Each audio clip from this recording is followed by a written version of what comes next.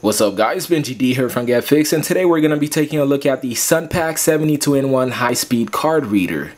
72-in-1. What the so this is pretty much a universal card reader. You can't go wrong with this. So right here it says CF. CF is this big card here. It does work for cameras such as Canon 7Ds. And over here it says SD. SDHC. I'm not sure what the AC stand for, but this is an SDHC card. MMC, mini SD. If you flip it over here, you'll see M2, which is this slot over here. MS, MS Pro Duo, and XD. XD's down here. MS Pro Duo is this one. Last but not least, SIM card. SIM card is for phones. You could pretty much take a phone SIM card in it and read all the old messages, deleted messages. It's pretty sick. Never seen anything like it before.